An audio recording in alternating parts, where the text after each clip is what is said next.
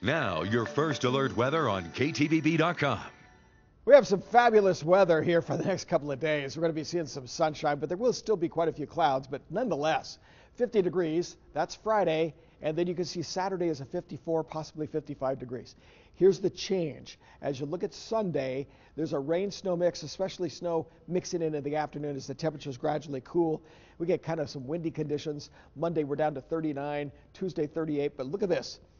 Even though we get some more showers once again, they'll be out of the southwest. We're going to start warming back up near 50 degrees by next Thursday. That's your weather forecast. Thanks for joining us here on KTVB.com. Always join us for your latest news, weather, and sports.